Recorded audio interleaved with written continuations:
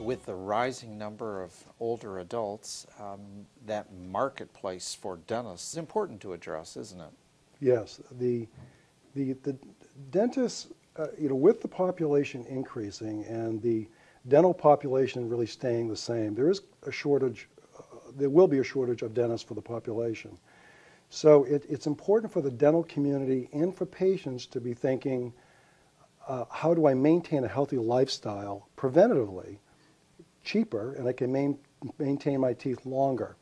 And uh, the educational part is more than just educating pa- uh, patients, but family members and physicians, so that the community works as a team to, to help maintain healthy teeth for a community, for the senior population.